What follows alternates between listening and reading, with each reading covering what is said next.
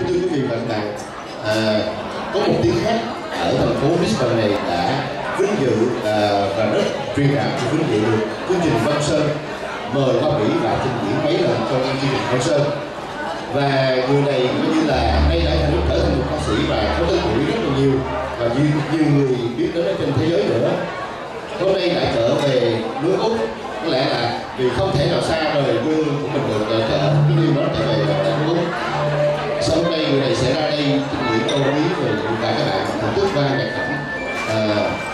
Tình yêu.